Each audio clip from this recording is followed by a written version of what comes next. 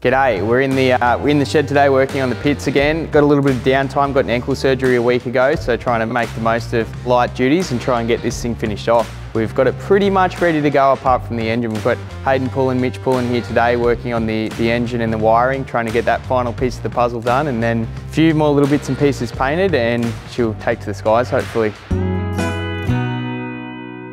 Here's the cowl. This thing took me a couple weeks to get it on. I bought the cowl in two separate halves and then had to carbon up some little pieces and glue them in here to make things fit underneath the cowl and make some better airflow in the cooling. So although I bought the cowl, it wasn't finished and it took a lot of time to make it, make it fit this machine. So let's keep moving back.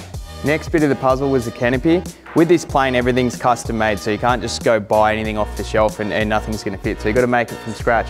Big job here, I, did, I made a 4130 really low profile steel frame here. And then I've got some plexiglass here. It's just covered in blue tape to save it from getting scratched. And plexiglass is then glued in.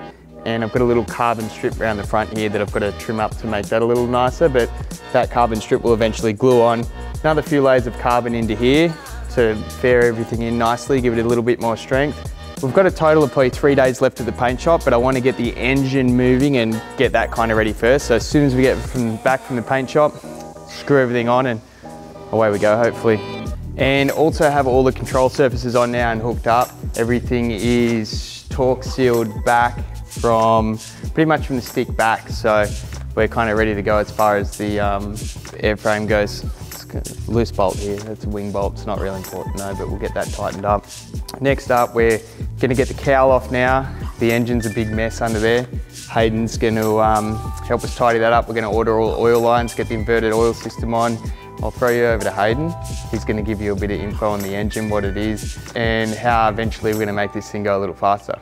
Hey guys, what we're doing here today We'll plumb all the Christen inverted oil system up to this with our good BMRS hoses. We'll measure all the lengths and get the hoses really nice and neat on this thing. We need to do a good job on this engine, even though it's only the spare engine to get this plane going, because we're building a hot rod 590 cube angle valve engine, which will replace this one. But we'll still do the hoses nice and neat because the same hoses will go onto the next engine. We'll get the wiring done, put a set of slick magnetos on the back of this thing so they can be wired up same as the new engine will go on.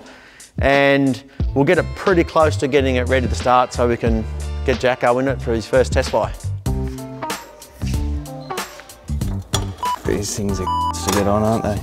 So we've got the, we've dummied up the, all the oil, Christen inverted oil system and fuel pump and now we're measuring, trying to measure all the lines. Hayden's calling the numbers out, I'm writing them down. We're gonna get measurements on everything, then order the hoses. That's the next step. So just trying to get our head around where everything's gonna be routed. Very confusing. I'm just going to use this cheap airline here just to get the actual real hose length uh, size. We'll actually cut that and actually make it like for real. Then we'll just throw it in the bin once we know that we're happy with the size. Oh, yeah. I'm just trying to figure out where to put the gascolator. That's this thing, tells you when there's water in the fuel. It's got a little filter in there. And we're trying to get that from the fuel tap to the front of the engine we're just trying to figure out best place to put all these little bits and pieces so the hose routing's the cleanest. Righto, number five, we've worked out inverted valve centre. Yep, there.